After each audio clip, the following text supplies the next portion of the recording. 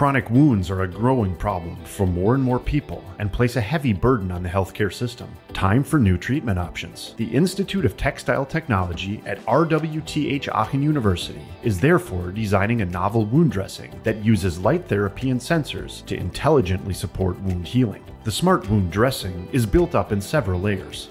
So there are four different components uh, integrated into the wound dressing. First is the compression uh, layer, which has to compress the uh, wound dressing to the body, um, to the chronic wound. The second layer is the LED layer, which has a function to uh, putting the light into the wound dressing for uh, making the treatment better.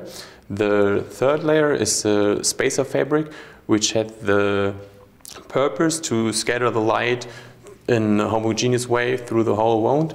And the last layer is uh, uh, wound dressing. It's like a normal wound dressing, which has just to take the fluid out of the wound.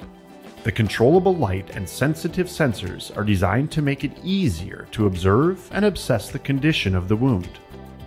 There are three really new things about this product. So um, the first and the second one is the sensor and actor system, which are integrated into the wound dressing.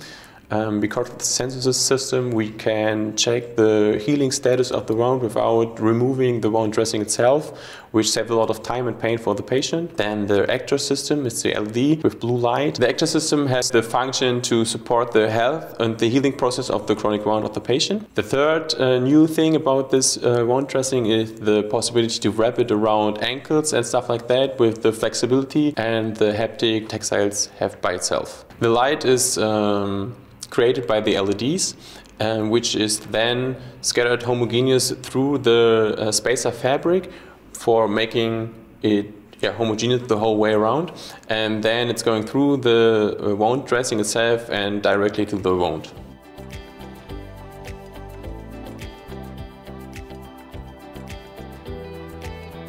With the new technologies, it's possible to save money, especially in regard to the um, caring personnel, as they don't have to look up the wound as often and the uh, duration of the wound healing process is also shortened. The wound dressing itself is, of course, more expensive than a regular wound dressing. However, it's designed to be reusable and to be combined with regular wound dressings that can be changed uh, every time. And with that, the patient can use this wound, intelligent wound dressing over a long period of time.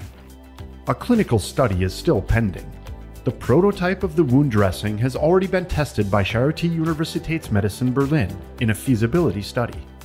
We had a positive resonance towards the drapability of the textiles that can be used also in difficult to reach areas like in the ankle and um, also that it was able to have more movement freedom than with a stationary light uh, emitting device. However, we also um, detected that we still need to work on technical um, developments like the combination of the light requirements together with the heat requirements and to uh, further go ahead and develop those uh, systems together with our partners.